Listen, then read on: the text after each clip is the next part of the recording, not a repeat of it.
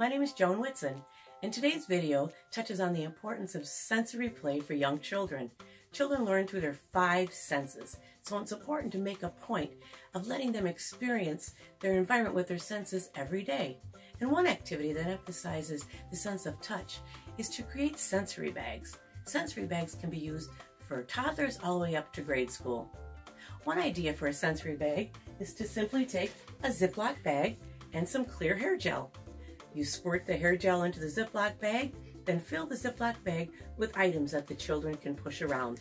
For the toddler, I would recommend starting out with small items such as buttons or beads or plastic toys. Items that they can push around and have fun exploring with. You can ask them questions like, where's the blue button? Can you find the orange star? There's a lot of learning things you can do with sensory bags.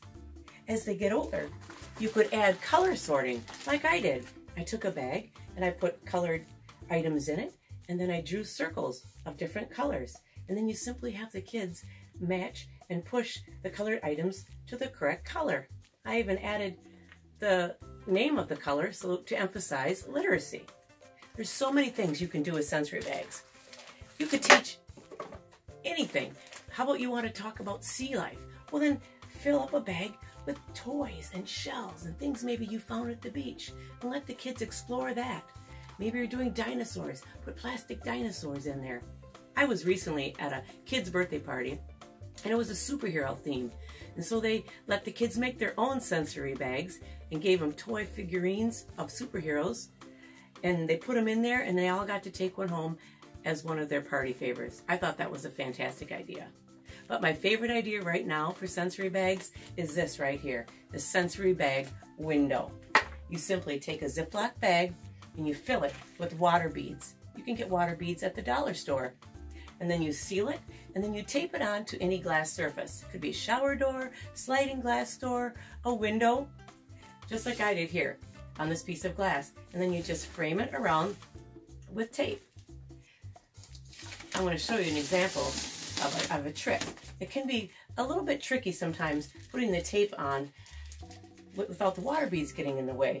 A tool that I found, and I want to show you that works just like charm, is then you take a squeegee and then use that to hold back your water beads and then take your tape and push it right down just like that. And that allows all the water beads to stay right in there. And then just watch as the kids just have fun feeling and touching and playing and exploring with all those textures. It's important to let children feel, touch, and explore with their hands. And the more that they do, the more that their little minds are going to grow, grow, and grow. Have fun.